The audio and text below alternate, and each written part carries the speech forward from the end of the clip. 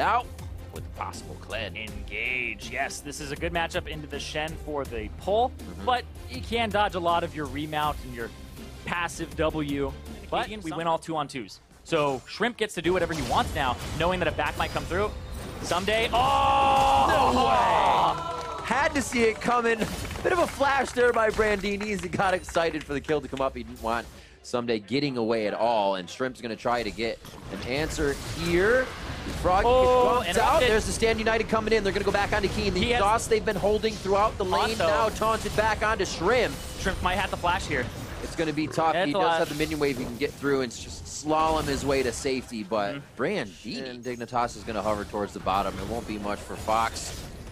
Defense on this second wave as it comes in, that just means more farm for Mash, but it also means Gate Ah. might be able to do a little bit of roaming here after Yeah. it goes down. I like it, Altec.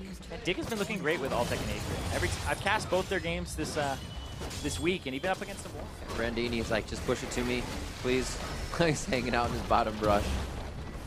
And it looks like bot lane's gonna get the same push. No need for him to die. Actually, a very nice move there that he doesn't get 3v1 in the situation, even though there wasn't a chance.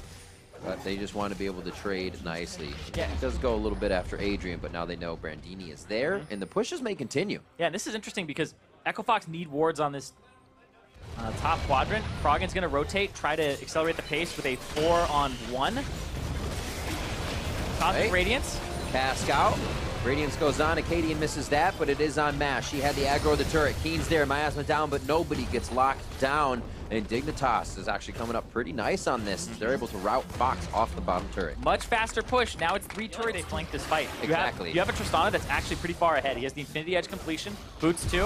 Whoa, that was so good from Akaadian. Oh, beautiful flash on the Dazzle. Nature's Grasp not Oh! gonna hit either. That goes over to Akaadian. That means they can grab it. 45 seconds is the time they have to do so, but the fight comes in for Dig, and a hit onto Brandini. He gets out of the situation. Nice knockback there, and Akaadian saves the rest of the team.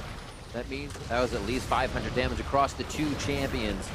Dignitas in and out. Froggen with just a big one to come up. He's waiting to place that one perfectly. 1500 on the Dragon as he heals up They wanna two. fight. Dazzle goes down, but Bastion wasn't on the correct target, and it looks like they're trying to cycle through. Very low health here for Dignitas as Mash can cycle some nice ricochets back through the. I was gonna say the front line of this is Keane, but it's not gonna go too far as he wasn't far away. Petrifying gaze onto Mash. He could go down with one more Twin Fang Frog and walking forward for the exhaust here. And both teams start to limp away. Dragon gonna go to Dignitas after the extended fight. Yep, the ultimates came We're gonna Baron. They're not even using Altec there. It's the blue buff on the Cassiopeia, double Mountain Drake. Adrian has to stop. There's the cast, perfect from Shrimp. They get it with nothing. Dazzle activated as of three minutes ago. And we get back out under the rift to get a little more assistance for the defense of Echo Fox. Oh. Fast forward from Ssumday to finalize the kill. Says that's Keane's for there level as four. well. Yeah, a little bit of payback. And now the team is going to be able to drop three members towards that bot side. Adrian on the roam as well. He is just this floating assistance as he would be on Janna, but really helping the team to keep strength in each lane they need it Yeah, at that time. He keeps going between lane and minions, or sorry, his Ooh. minions. The other wave to die, Right. and they're able to push up. And he's able to go on the side. And look at that, disengage, buster shot, play around traps in the mid game. When I could just, you know, not have to do that, ban it away, and then not have the whole team deal with this, this wall. Because it works in both situations. Mm-hmm. You're losing, I trap you off. Just don't kill me. Give me some extra attack speed. Ugh, but I don't know if it's going to be able to help him this game. But I feel like the only person who's died on this team, like literally the score in the game is Brandini's score line. Mm-hmm. Like one to two. Doing his job though. Everything else is what just, you want from the Shen. exactly. Everything else is just laning. And so Dignitas is showing that they don't. This is what you want to see as well from a top Right. team, is that they don't have to get down in the dirt and get dirty. We'll see here though. Keane cleanse away. Very nice cleanse as he flashes to safety. They just let the Cosmic Radiant shine away. Brandini taunts into safety, so that's not used now in aggression. And as you were saying, Dignitas able to kind of just take this one out through the laning phase. They wanted to scale up Keane and Altec. They did so. Found two kills when they had the chance, but mm-hmm. It was a very low kill game, so Dignitas to get the lanes they want. Yeah, and that was beautiful. Though it's going to be Ssumday. Shrimp Right going in. Nice petrifying gaze on both members there on the bot side of Fox. Looking at Akaadian now. The last few fangs and shots coming in from Altec. and Keane as they get to stand on the front line. That just shows you how confident and big they feel as they make their way into the base of Echo Fox. Yep, double super minion waves, 28 minutes almost on the clock here, and the double mountain drake's gonna do work. Ooh. Altec jumps to the side, blasts Froggen away to say, no, no more damage from you. Akaadian trying to do the same thing, says, check out my Snuggie, it's really comfy. But Dignitas says it feels more comfortable to take the Nexus than have a game under the belt. Four to one, just under 30 minutes in. They're chipping away. Seems like they're getting the hammers and the chisels out, but they're mainly targeted on the members of Echo Fox. Whoa. One last brawl as we see the stand united from Brandini coming in. And ever so slowly, Dignitas takes down the Nexus. Game one, Dignitas over Echo Fox. Gonna go for here. And Talia, all right, locks it in. Looking at this dig composition, it's going to be hard to assess. Uninterruptible by crowd control. This bottom lane gonna be very heavy in terms of, look at how fast they got that shield off, and they're gonna keep going. The exhaust is out. Adrian's happy with that. He can Oh, he's get going away. forward. Straight on him. Storm Shield just came back up from gate. Fast fingers keeps Keith alive. And here's Akaadian. Summoner spell, spell still on the bot side. Wait, Flashes what? for What? Fox. What? And it is going to be a 1v1 for Akaadian and Adrian as Akaadian almost goes down 600 on the Drake. They haven't really been focusing it too much, and Keith isn't really one to tear it down. Yeah, Brandini's wiggling right there, back and forth, kind of threatening, saying, I can do it. And he That's- gets Is that what a threatening Poppy does? They wiggle back and forth, and the whole All team tech, of Fox starts tech. to wiggle here. Looking at Altec, he jumps over the wall with a bit of a dash. And Brandini goes down. There's the ultimate from Keane, finally dropping one out of the game. He gets his first kill. So many low health bars for Dig. There's the finalizing kill from Keith in the one-two hit. And Dignitas now runs in a the- second. These TP. Oh, TP. TP in, coming in. It's a flank. See what Froggen's flanking too. What the? they can do. Froggen over the wall. It's going to complete, locking them down. They lose Adrian. Wish is also down for another fight. They don't get to use it, but that's also going to be Akaadian falling. One for one on both sides. Echo now. Fox. Looking for the next shot as they take down Ssumday. Echo Fox comes in strong on the fight and turn Dignitas away. And Echo Fox Deal with 3,600 HP. Adrian just on the wing as he went down first. Won't be able to do too much other than Wish. There- Does he keep him Oh, alive for long enough? They keep him off the Baron. This is what they wanted. Wish was just Oh, used. He doesn't have too much more to offer. Ah! Oh! Star called the Froggen. Bananas Froggen down. Adrian comes in as the faster cow. Baron. Oh, Ssumday Shrimp not feeling Oh! too bad to oh! be across the wall. Froggen might leave Brandini and Akaadian by themselves Oh, here. tech! We'll see what happens. Steadfast presence not letting can't them kill him! in or out. Altec finally goes down in the middle. Shrimp's going to be the next one. Echo Fox is organizing themselves for these long fights, saying Brandini, Akaadian.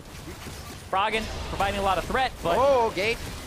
There's AoE damage. He's already taken a little bit. He has that passive on him from the Baron. They're going to stay alive. Fox grabs Baron. Oh, yeah. We had only about seven total, and the, the last few came into Nexus fight. And here we are inside the base. Will Akaadian be big enough for the team to come up behind him? Brandini, nice shot on two members of Dig. He is always grabbing two in that keeper's verdict. Heaney has been a menace. He's hard to remove. He has both resistances now. There's the wall. There's the triple mountain drake to try and chunk this out. Oh, Oh. Brandini. Shrimp ready to get on the back line, but is the team ready to hit it? He finds Keith and the back line. Whoa. Isn't enough. Huge damage coming through. Brandini He gets himself out. He's out. And Froggen delivering that with the seismic shove and the unraveled earth. Dignitas bought right into that one, and Echo Fox again is able to limp away on this. They Shrimp. are able to Yep. get Shrimp on the backside once they close him out from his passive, and they're right back to the base. Yeah, they were able to actually play two different fights there in terms of skirmishes. Brandini went onto the bottom side with Akaadian and Froggen, and Froggen was the big difference maker there. He brought enough damage to bring Adrian low and kill him, even though Adrian was Giving Ah, up. Gates gonna go for the big heal there. Now the reset is actually in favor Yep.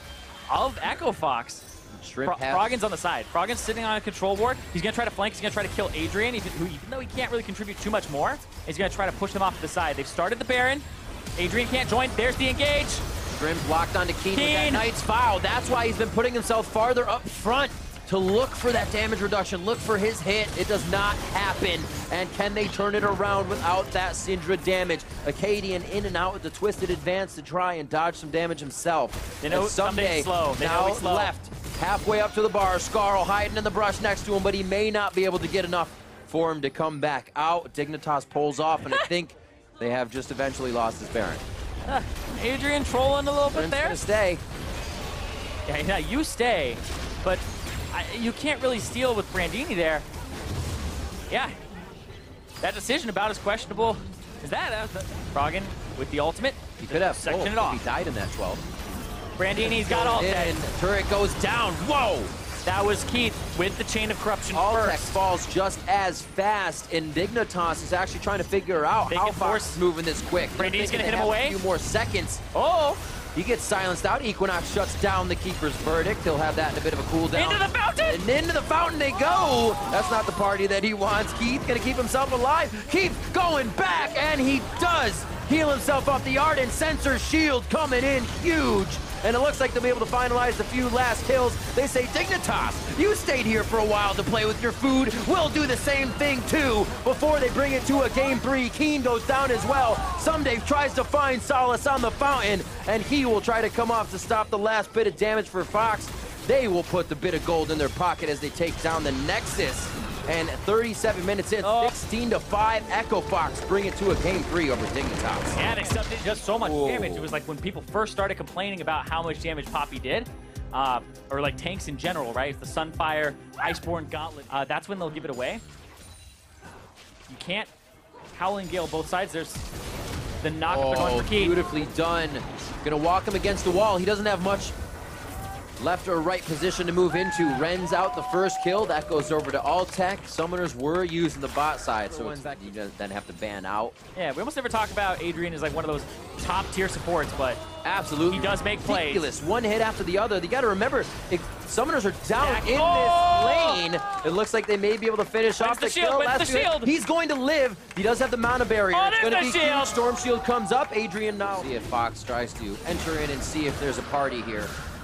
Keith approaches for just a moment. Chain of Corruption down. And that's the Fate's call to come in. Actually pulls him right into the Whoa. Nature's grasp, but they're going to be able to get out of this situation. Oh! Flash talk coming in from Ssumday as you thought it might have been over. It just started for Dig. They come back hot after the Infernal. Picked Yeah. up, Keith running up to this one. They're going to drop the turret, but pressure. The 3v3, a quick whoa, storm shield. Shrimp takes the heated up shots. That's probably going to mean the fight. Howling Gale stops him from getting away, but he gets pushed away from the monsoon. Brandini comes in for the kill with the buckler, smites him down. And now they're going to be going for the extended fight. Dig stays a bit longer than they wanted to. Gonna quiet him down, but Adrian can't silence the full fight. Ssumday now trying to run for his life. Froggen with the big one loaded up next, and he's gonna use that to finalize the kill. Well, Gate steals it away. The KS, kill secured. Final touches on the turret. Yeah, Ssumday still on the top side, pushing it out. They're gonna trade back turret though. They're just trading. It's eye for an eye in terms of turrets. And there goes Akaadian. He went in. Locked onto Adrian. They come back.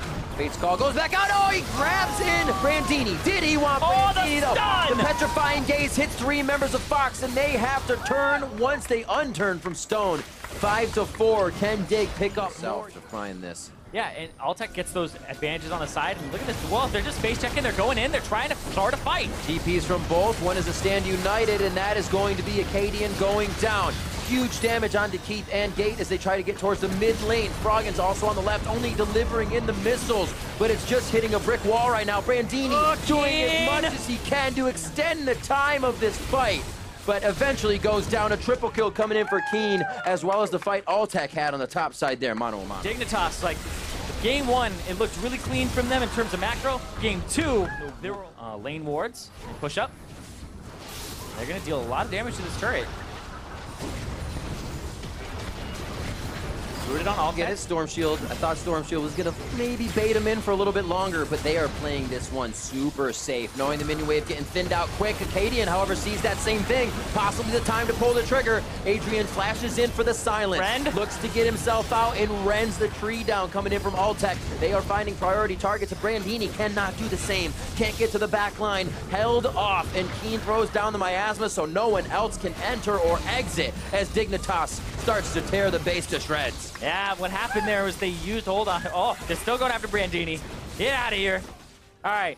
So they used the QSS. Altec had used it previously when he got uh, hit up there by Keith's ultimate. Just, But yeah. junglers, you are right. Get Swifties. Yes. No. getting swifty. Oh, Oh, Yeah, he's oh. not tanky at all. When you can pull in the Maokai, that's when you know things are going well for your team. Dignitas continues to roll through this one as the gates open.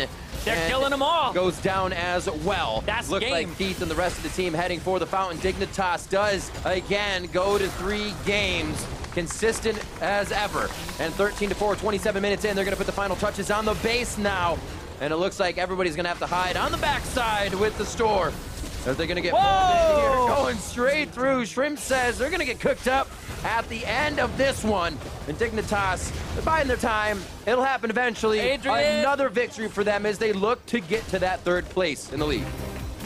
Dignitas. It took them three games.